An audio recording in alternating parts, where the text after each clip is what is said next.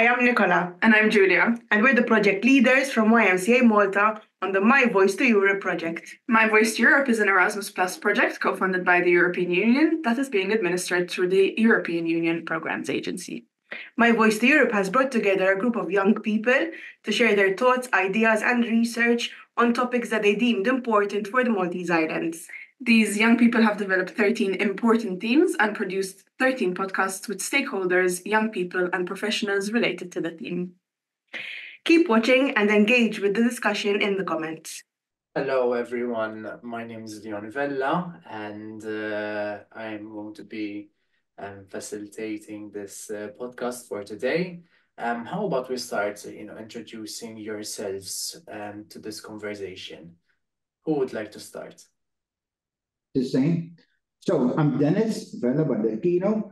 Uh, I'm the commissioner, just to quote the, what, what the law, the title given by law, is the commissioner for the promotion of rights of people with mental disorders. In short, commissioner for mental health. That's very interesting. Thank you very much, um, Dr. Dr. Dennis Baldacchino. Thank you very much uh, um, for joining us today.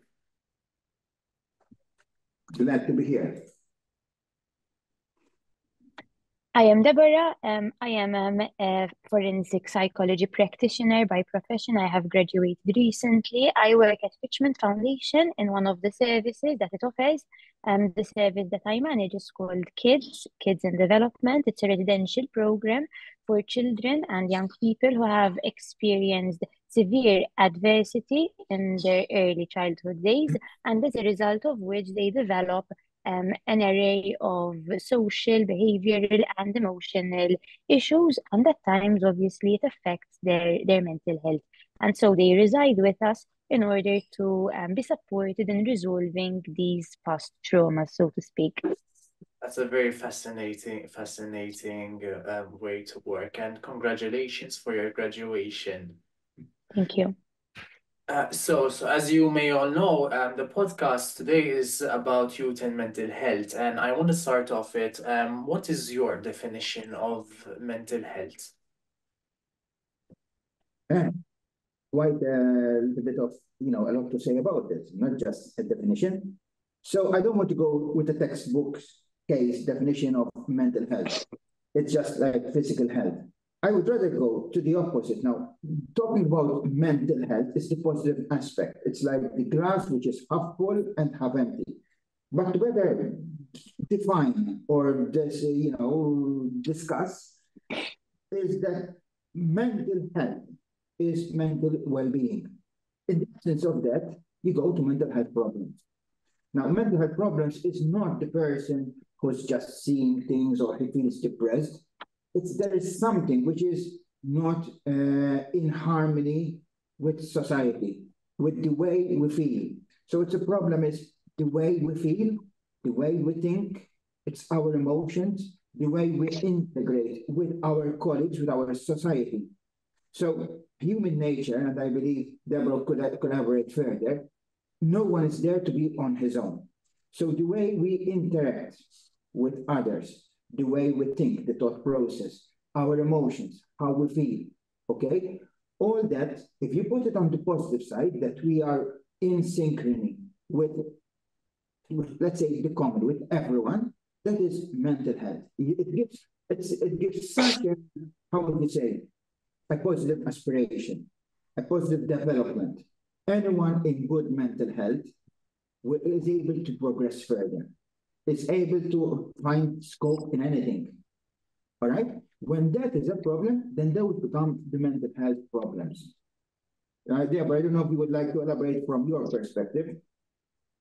There is not much more to it. I think you gave quite a wide explanation of what you understand, of what we understand with mental health. And um, the way I see it is that as human beings, we have our health, right? And that's comp- that is comprised of our physical and mental health.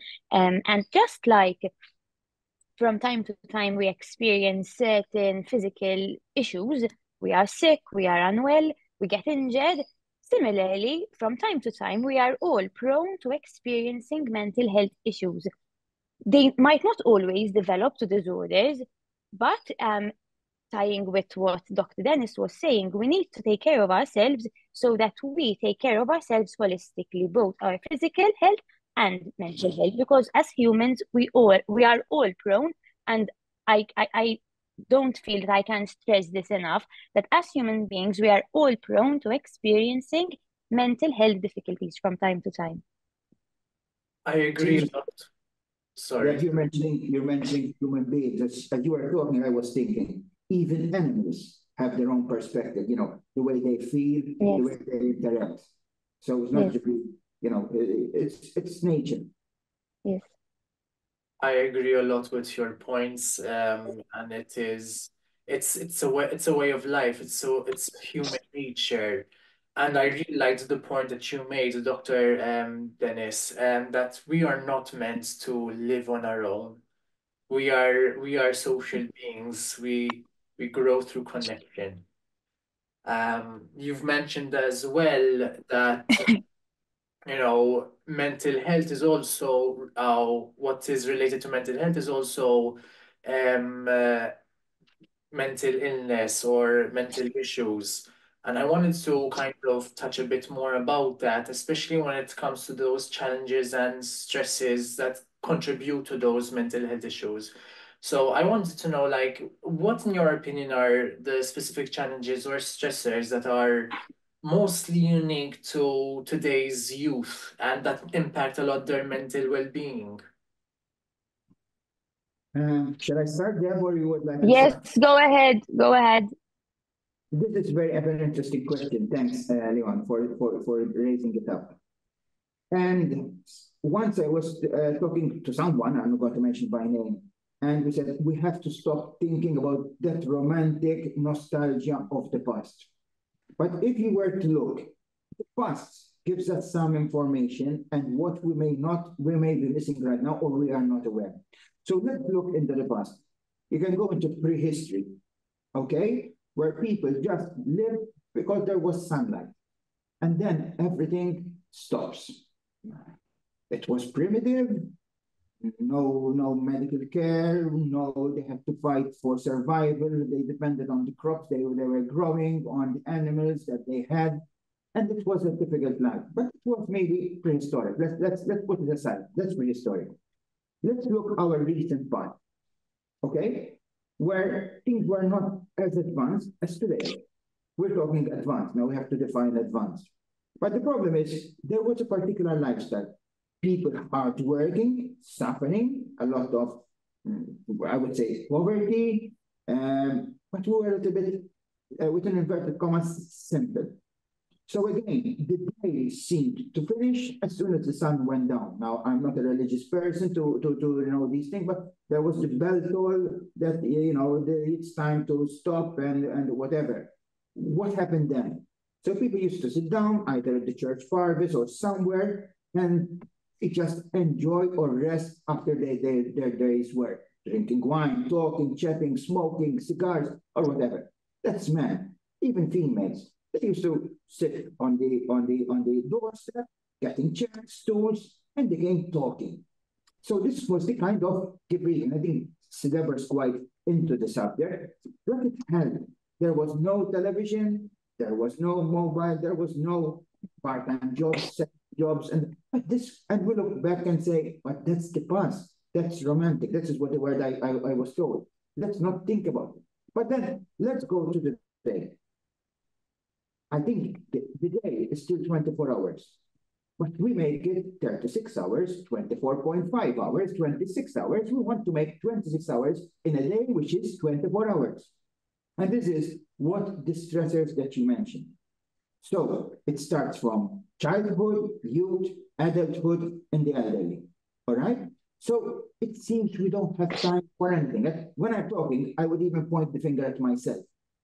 So if we start at school, we go to school, an early rise, come on, it's still dark and you have to get your transport to get to school on time. And then you stay, you know, a one hour traveling, sleeping on the minivan just to arrive um, to your school.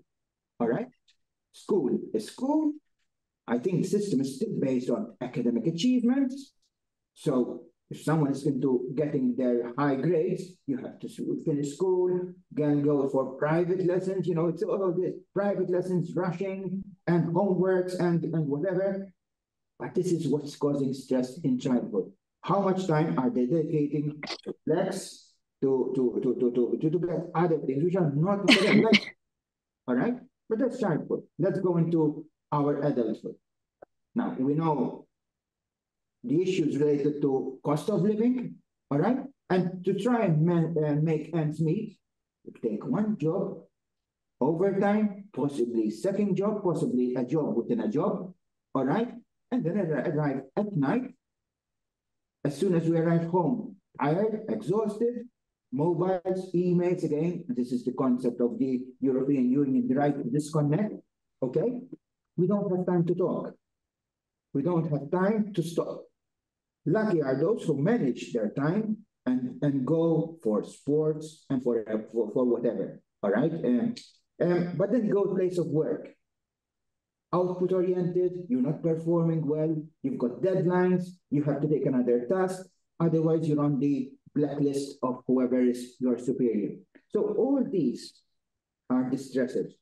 And then in the evening, oh no, I need to go out. I mean, we're meeting friends, we're going to spend the night out, drinking, smoking, whatever we're doing. But then tomorrow at six o'clock, you have to be at work, or seven o'clock, you have to be to work. So we take it for granted. You drive, oh my God, I do, I do this myself. You have to pray and make sure that you arrive on time, hooting horns, you know, from one um, road you go to the other. It's the road rage. It's the stress at the place of work. So all these are the stressors that we are touching every day. We take them for granted. We go to a restaurant. Again, we open up our mobile. We use the bathroom, and again, we use our mobile. We eat, and we use our mobile.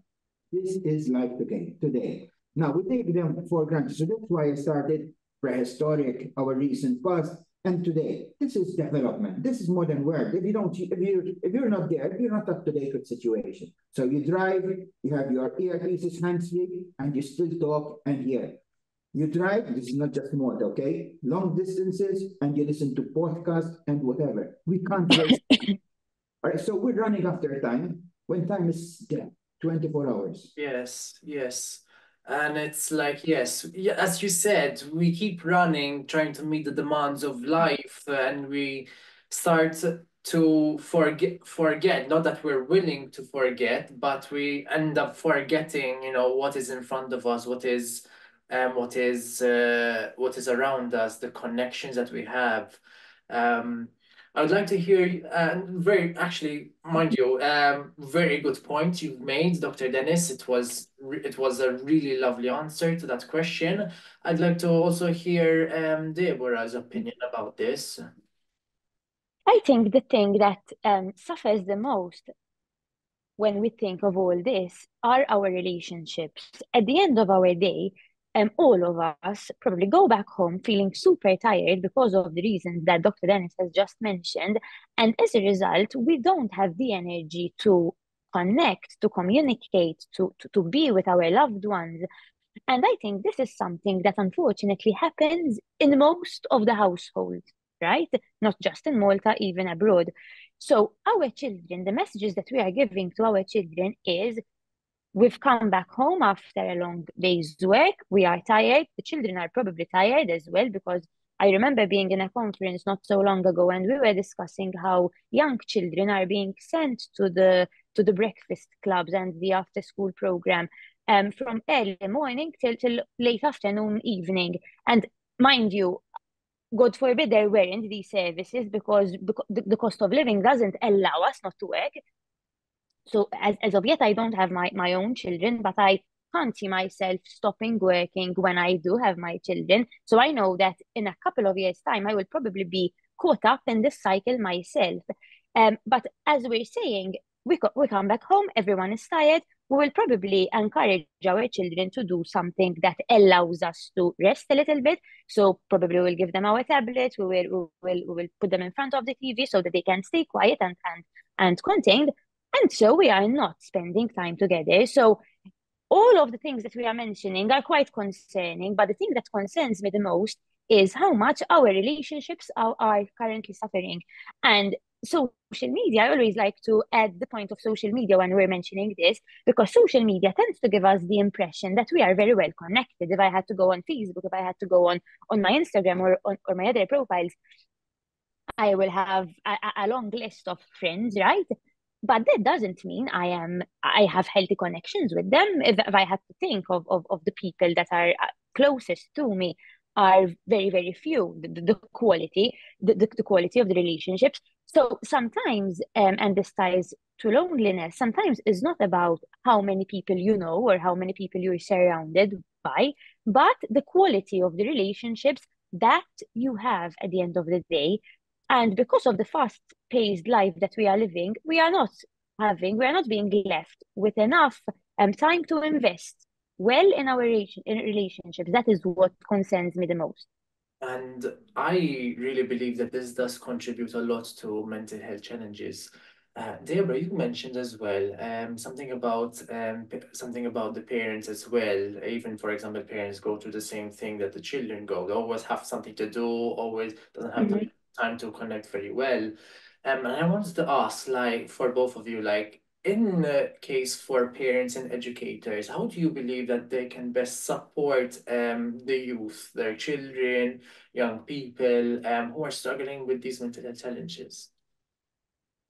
Do you want to start yourself this time? okay, good. I, Zoom Zoom tends to confuse me because I wouldn't want to jump on someone else, so I always wait for someone to give me the go ahead. Um, so supporting our children and youth, I think we need to move um towards helping our children, helping our young people, future adults, to become resilient because at the end of the day, we can't eradicate the, the challenges that we're facing. We can try to work around them, but at the end of the day, as we're saying, none of us can stop working, none of us can um, do much different than what we're doing. But um, I think we need to instill in our in our children first of all a good sense of time management, and I believe that as, as adults we have the responsibility to uh, model role model a good sense of time management. So let's find time to be together. And in that time that we are together, what are we going to do? Because we can still be together and stay stay on our phones, right? If if you go to restaurants nowadays, you will see whole families all on their phones, on their tablets, and not communicating. So I think we can first of all is to model this sense of how to build relationships and how to communicate and how to be with feelings. So when we're talking with children, it is very important that um, we don't dismiss their feelings, even though possibly the issues that they might present to us for us adults, they might not seem very, very drastic, but for the child, it might be quite quite big. It might be quite quite meaningful. So we need to support our children to identify, be with their with their feelings, communicate well, and also um, time management because because at the end of the day, all of us there are lots of demands placed placed on all of us. So if we if we have to think about children, children have to go to school, have to perform well, have to do well in exams. We always expect them to be better. Always tell we always tell them to go to do well in exams because otherwise they will not have a have a have a successful job in the future. So I think we need to pace ourselves a little bit to go with the flow of the child, each and every specific child, because not each child will have its own its own its own needs and difficulties, and teach them at the end of the day how to be resilient, how to bounce back in face of the challenges that life will inevitably throw at them.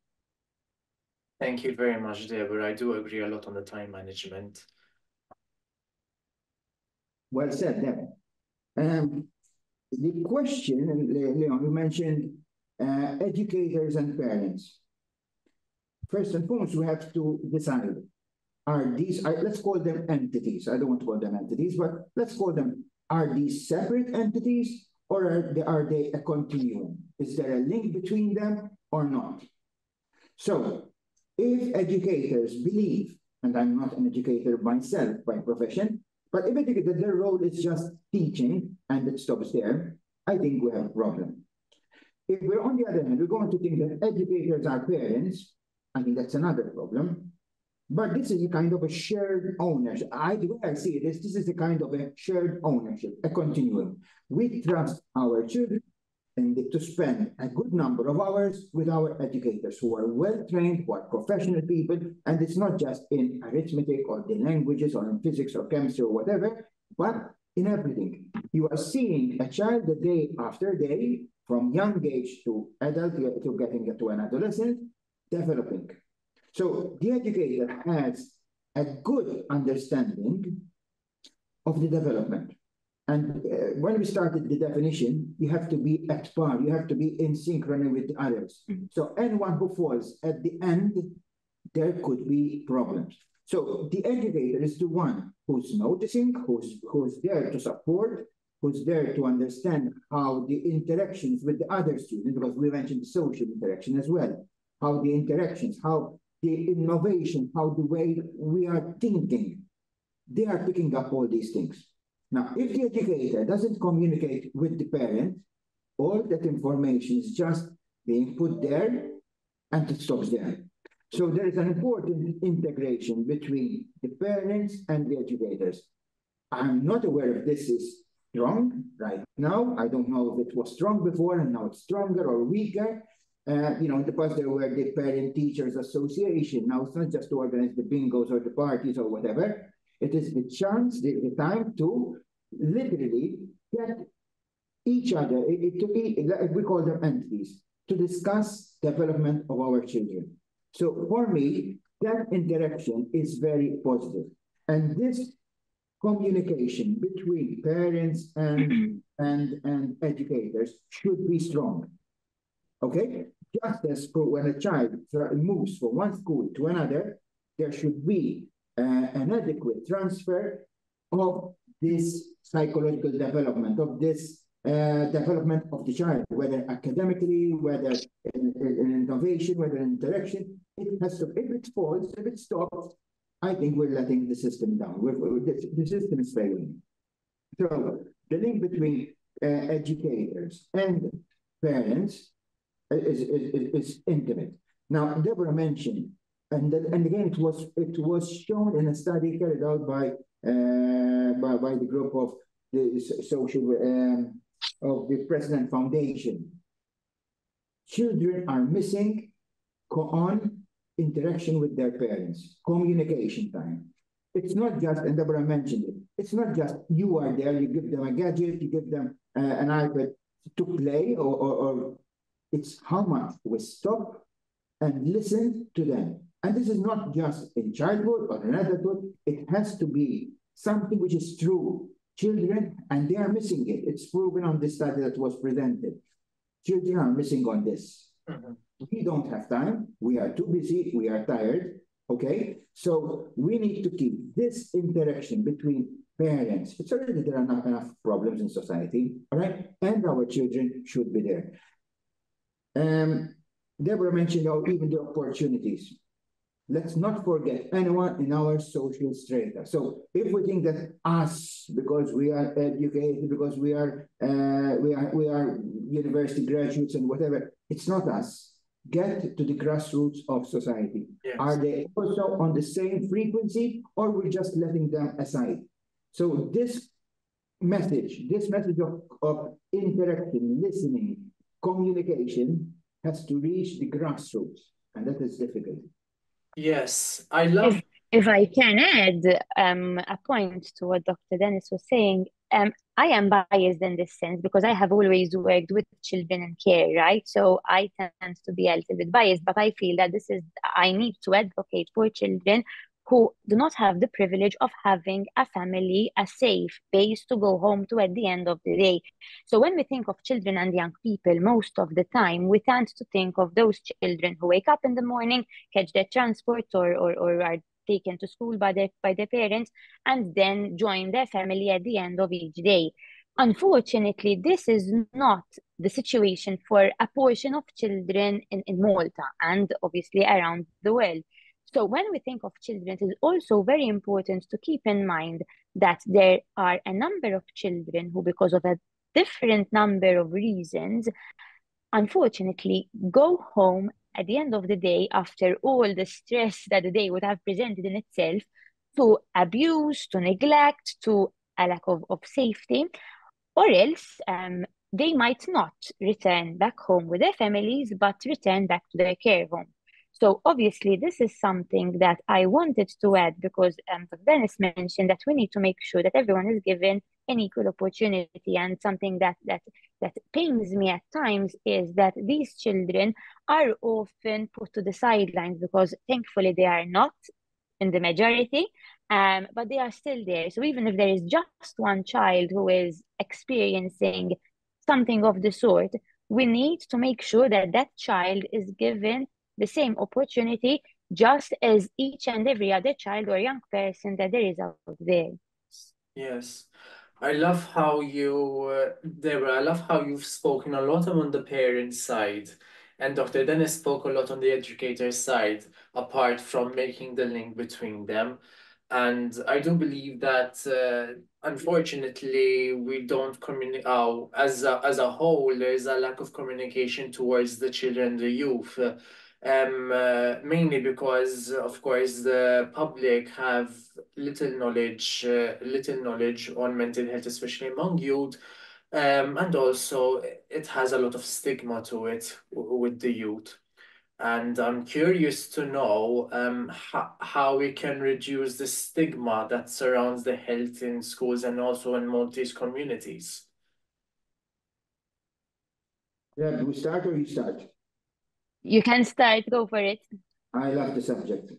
Stigma. How can we remove stigma, the word stigma from our dictionaries? Is it possible?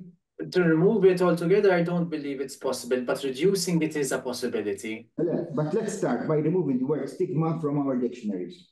That's difficult. Now, the thing is this. If we are going to talk about mental health issues as a disease, as a contagious condition, then stigma exists. But the problem is, if we are talking not about mental health problems, just as my nomenclature, uh, Commissioner for the Promotion of Rights of People Mental Disorders, that's the law, okay? Let's, let, let's remove the word disorders, mental health issues. And who doesn't have a mental health issue? The Pope, the Prime Minister, Donald Trump, who? Everyone at a moment in time will pass through a negative. Life is not planar. Life is ups and downs. That is normal. All right. Today I feel fine, beautiful. It might be that tomorrow or next week I would feel lousy, tired, exhausted. Things are getting all, you know, uh, all black.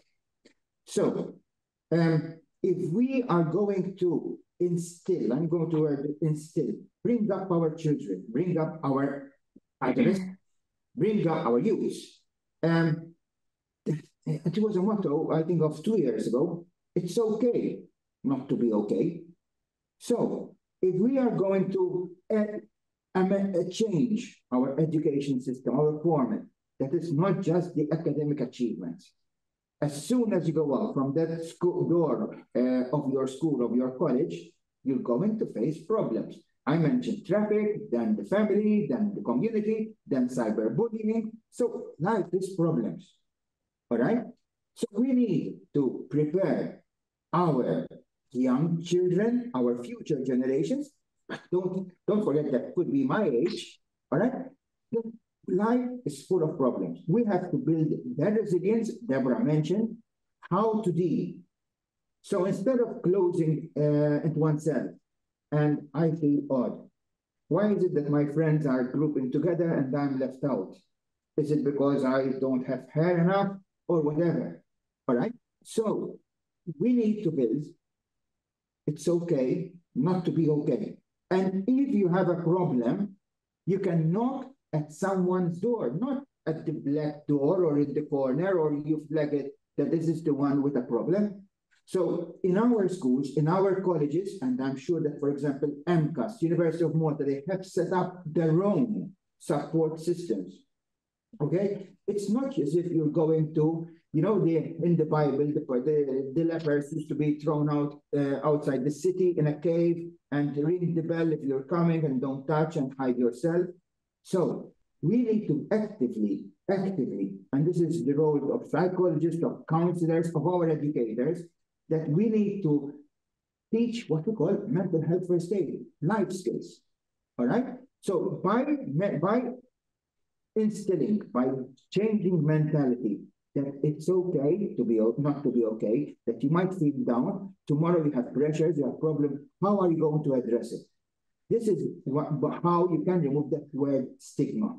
So if someone ends up requiring to need to go to a psychiatrist, it's not the end of the world. You are going to a psychiatrist, to a psychologist, to a counselor, because it's part of a normal process. It's like when we go for any checkup, all right, for our gynae checkup, for our hypertension checkup, for our diabetes, for anything, all right?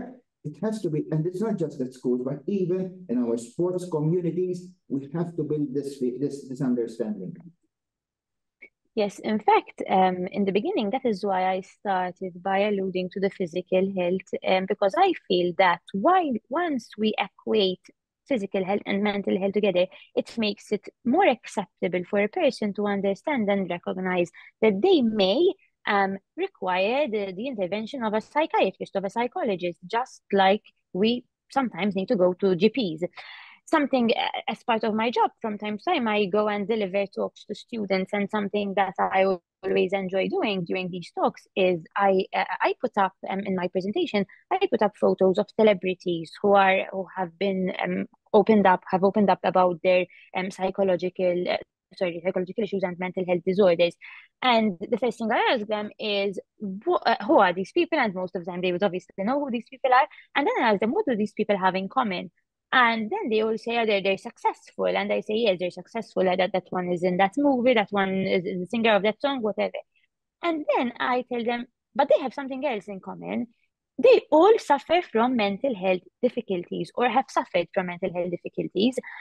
But in spite of that difficulty, in spite of that condition, that did not stop them from achieving whatever they would have achieved. And this is something that always leaves everyone in awe, especially young people in awe.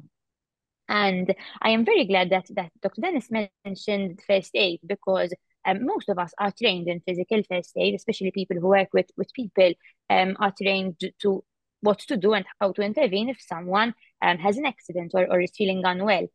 Richmond Foundation also offers um, mental health first aid. And when we offer the courses that we offer, are not only apart from the standard one that that covers the standard mental health first aid, it also offers um, the youth mental health first aid, so that people working with, with with young people essentially and adolescents can feel supported enough to help these these the children, the, their clients, their students whenever and if ever they, they face any issues.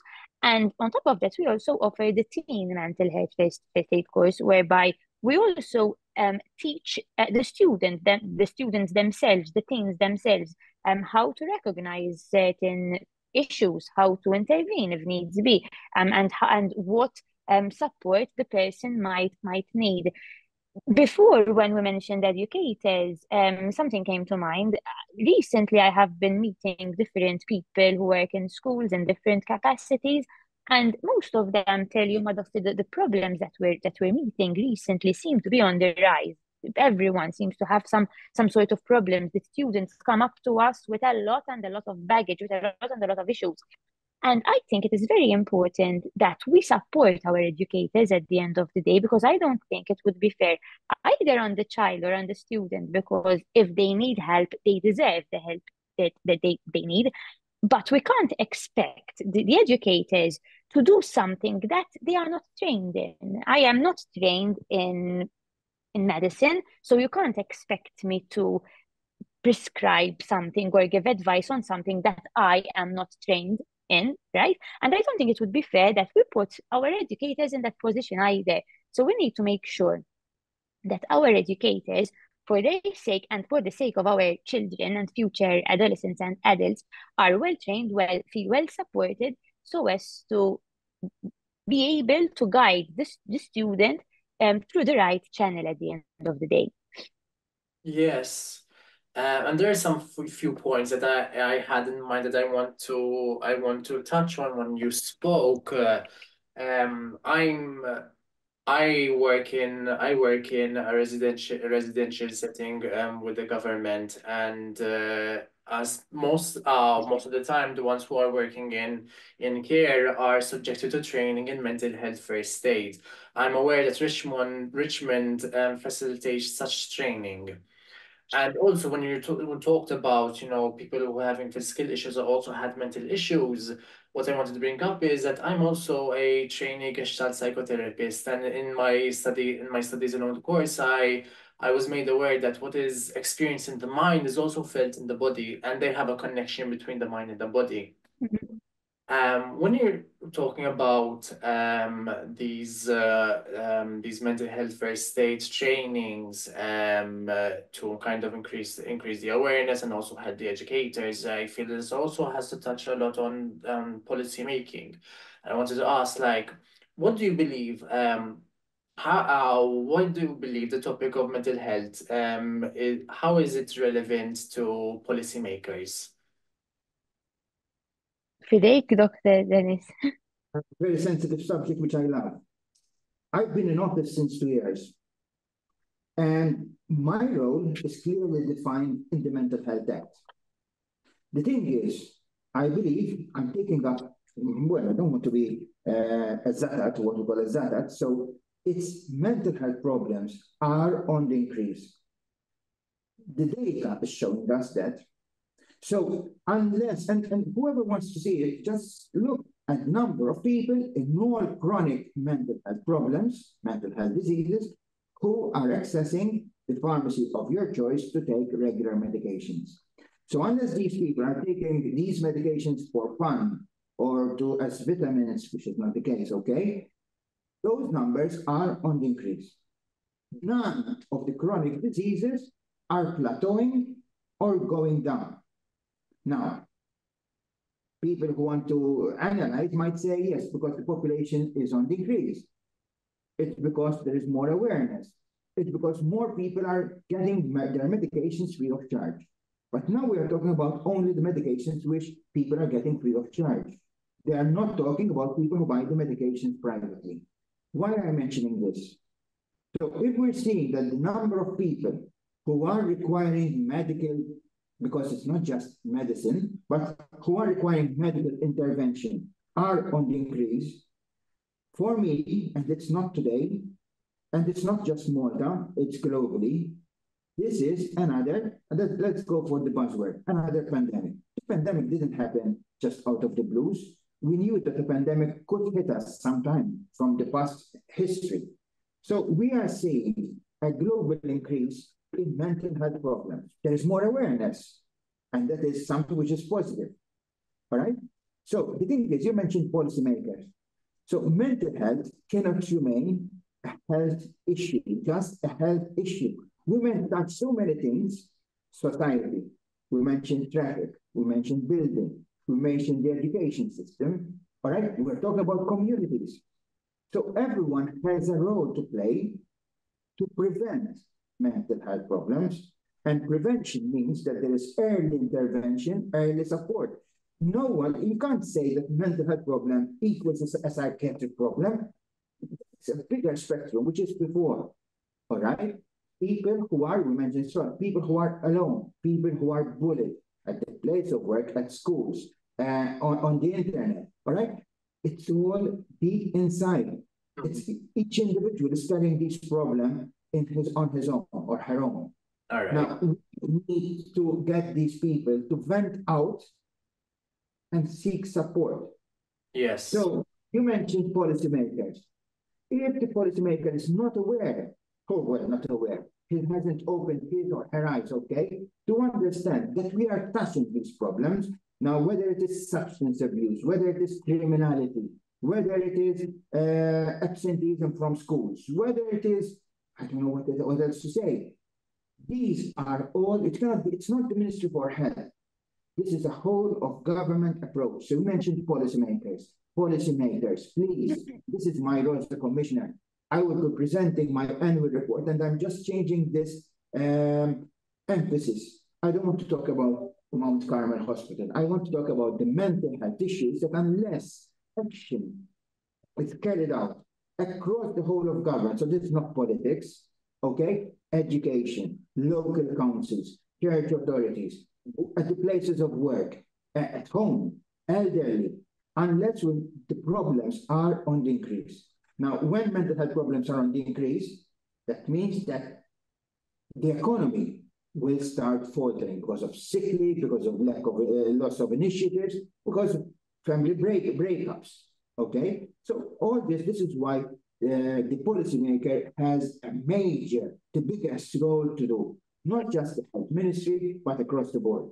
This is about increasing the quality of life for everyone. Yeah. What, what is your opinion about this, Deborah?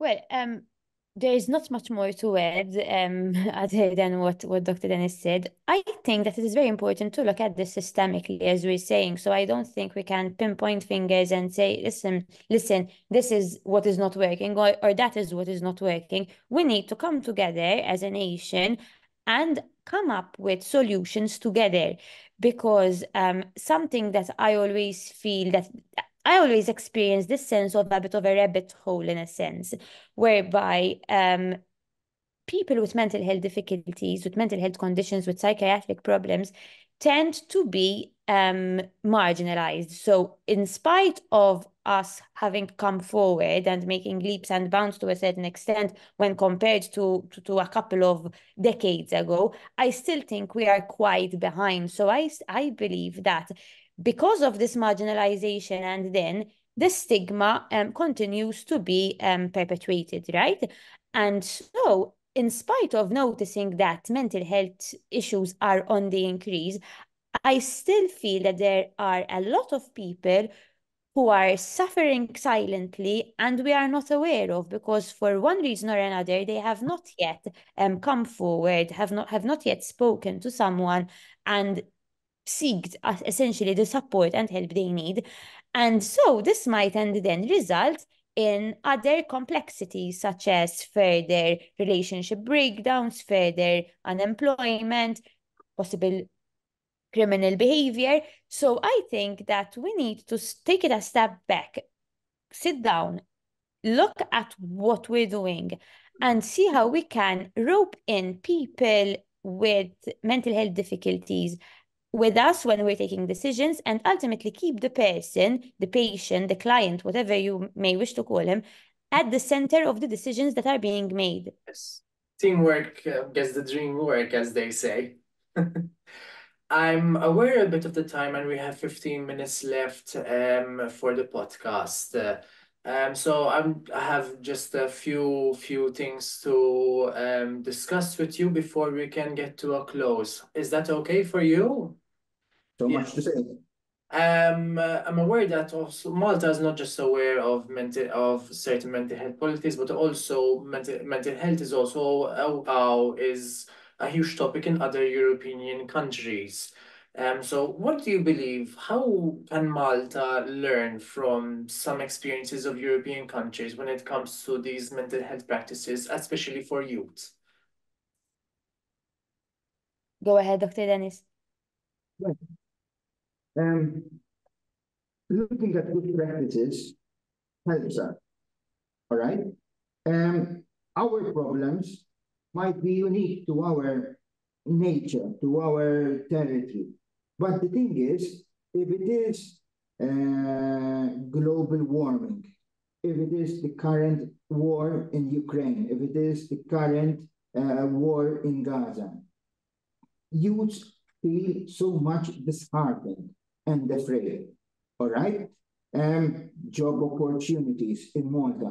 So we have to make sure that as a European Union, okay, we are all singing from the same hymn book. Because the problems that we are facing, it's not just me, Dennis, in Malta, but it would be Peter in France or, or I don't know where, with their own problems, because they will not be exactly the same problems. But we can find, we can find commonalities. So there are good, good practices in Scandinavian countries uh, with, with evidence, evidence proven. Let's look at the good practices in these countries. Let's share them. if some countries are not performing well, alcohol-related problems, UK post-Brexit, so it's not just us. So let's learn the good practices and let's see where things are not working. And together at EU level, we need to cascade down because we cannot interfere in each member state, but pass on these good practices. Something which kills me is the time for talking is over. So mentioned before, Deborah mentioned that we have to sit down and see, yes, we should have done it 10 years ago.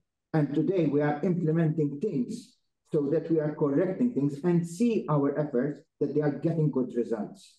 Mm -hmm. So at EU level, yes, mental health is also featuring high on the agenda. We need to learn the good practices, see where things are not performing well, and learn from each other. All right. Thank you very much, Dr. Dennis. What is your opinion about this, Deborah?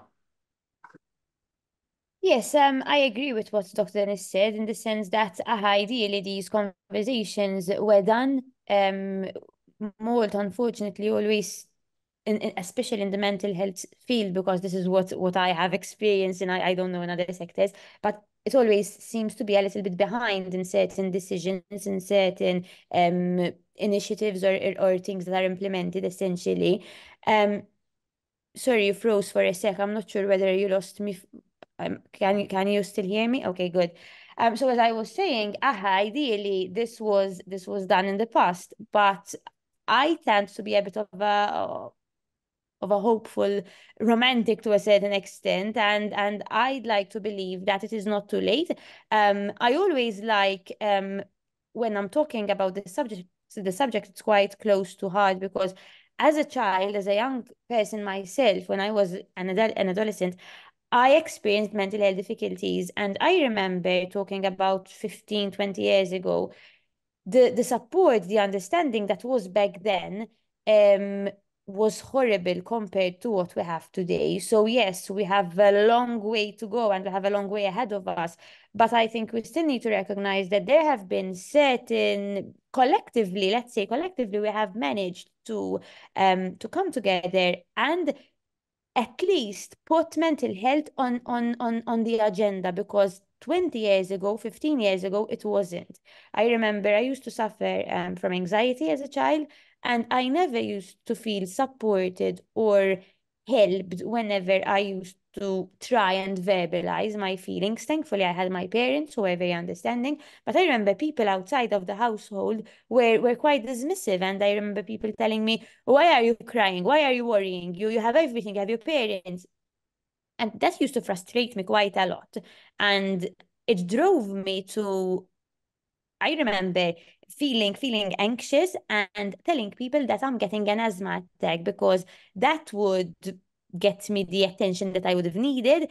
Um, whereas telling people that I'm feeling unwell without having the, the, the, the, vocabulary to say what I was feeling um, would not get me the same attention. So if I had to look at those practices back then, I am not pinpointing because obviously I know that there were limitations, but to the practices that we offer our youth and children nowadays, I I I feel that uh, we've we've we've come a long way, but uh, the long the, the road is long, and we need to to to pull up our sleeves and continue working towards ultimately putting um, mental health at the forefront of of our practices at the end of the day. Yes, yes.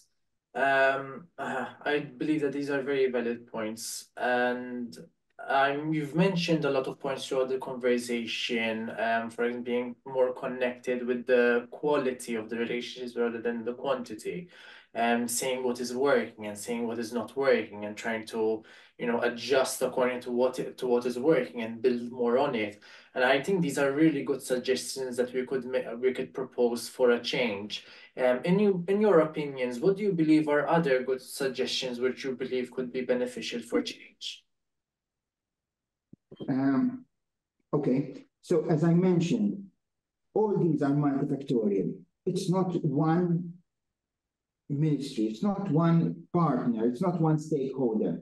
So it's a whole of society approach, it's a whole of government approach. So let's look into our community. Let's go to our granularity, because we talked about education. So unless the education system is going to review and think about their current status, I think we are still remaining the same problems. But let's look into the community. I think the local councils, this is we're talking about Malta, have a very valid role to play. Are, are, are our youth, our younger generations, still actively participating in community work? Or rather, we're too individualistic, we don't have time. There might be some uh, places which still attract youths to participate, to give something back to society. I think we're missing a lot on that because of time restraints, because of other priorities in our life. So instead of just uh, local councils having a role to arrange the streets and whatever, let's try to organize more community-related work where we think about communities, building together, sharing ideas, uh, and arguing together as well. All right? And this is, I mentioned local councils. It could be the church authorities. So these are the institutions where people get together. When we started the talk, we said the people used to uh, meet in the village square and talk, maybe gossip. All right? So we need people to be inclusive, to share their views, their experience, to involve themselves. Make sure that their, their, their, their opinion is well taken up as well. Yes. Um, think about building uh, the way we build our building. Are, are there still open spaces, safe open spaces for our young children, for our youths to enjoy, relax, have a relaxing time? So all this needs to be actively looked into. Yes, thank you very much for the point. Uh, inclusivity is also important in change. Uh, is to what I wanted to add. Um, obviously, we can go on for ages talking about the topic, um, but something that repeatedly came up in our conversation was the need to feel connected, the need to have um, relationships, so on and so forth. And before I touched upon relationships within the family unit, um, but as Dr. Sen Dr. Dennis mentioned, we need to think about the communities at large. I mean, nowadays, we, we hear a lot of people who might not know who their neighbor is, whereas in the past you'd know who your neighbor is and you'd have some form of relationship with your neighbor, and at least you'd have the the the, the, the knowledge that if you need, uh, I don't know, uh, uh, some milk, you can go knock on the door and the neighbor will help you and then you will help them. There was this sort of reciprocal, um, altruistic relationship. Um, nowadays, that is missing. So I think that the community, the, the, the councils need to see how they can gel the communities better together, especially in an age where we are living with a lot of foreigners. So it is very easy to feel that to, to create this divide between us and them and not having the opportunity and the space to get to know them. And most of the mm-hmm. time, people tend to have this sense of apprehension towards for, foreigners. And that might not necessarily mean that they are racist. I believe that most of the people who are fearful or apprehensive of foreigners are essentially scared. And they are scared because they would not have had the time to get to know the person, to get to know that that person coming from whichever country he may be coming from is not much different than you or I. So we need to have opportunities to sit down um, and given that we are surrounded by so many foreigners, um, try and work on integrating um, on integration better. And that would help ultimately the connection, the relationships, and hopefully mental health as well. All it takes is a little conversation. Well, not not a little conversation because because I I know that it it requires work. So so I I I don't expect um people to hear our conversation and say, ah, Sama, this is what that, that this is what needs to be done. Things things take time. But I think we need to identify sort of what may help us, what may support us in um, ultimately becoming um, better neighbors, better better wives, better husbands, better parents, better colleagues and and and better human beings at the end of the day because that's what we want the, the, the holistic well-being of ourselves and ultimately of our communities. Yes yes i agree with your point. And we have two minutes left uh, to the podcast. And to wrap up i want to ask you if if you could have a message um, a short message that you'd like to pass on to to the youth, what would it be? Short message. First, we start. It's okay not to be okay. I like those buzzwords. Two, if you feel something awkward, strange, not up to uh, expectations, you need to seek support. Let's not talk about psychiatrists or Mount Carmel because those are the taboos. Think about getting training, as Deborah mentioned, mental health first aid. You need to talk with your friends, okay, as long as they are positive and supportive. Knock at the door of counselors, knock at the door of whoever can provide and they are trained to provide support. All right? So please do not close up and remain, it's my problem. And if I talk, I'm an outcast. Thank you very much, Dr. Dennis. So, Deborah, what uh, would be your message to the youth? where Dr. Dennis left off, um, similarly, I would like to encourage any person, any young person, adolescent who is currently struggling um, to reach out. Help is available, support is available. Um, Richmond Foundation has its helpline 1770 and has its Oli chat, um, whereby since since uh, nowadays we tend to text more, maybe a person would feel would feel more comfortable to to speak over over texting. Um, these are open during office hours, and then there's the national um, helpline 1579, um, where the person can go and seek support. There are several other other platforms, kellimni.com, 179, um, so on and so forth. So help is out there. Don't um, hold back. And something that I would also like to add is enjoy your youth. I remember when I was a young adult, uh, a, youth, an adolescent myself, I had this um, urge to grow up and and and start having uh, I, I couldn't wait to get my first job i couldn't wait to to to, to turn 18 so that i can go to certain to, to certain places and be recognized as an adult however once you turn 18 you will no longer be a youth again you will forever be 18 and you add on to that but you will not get the chance to be a child and a young person again. So enjoy your youth. Don't try to grow up too quickly. Enjoy being a young person and you deserve the right to be a young person without assuming certain responsibilities that aren't yours.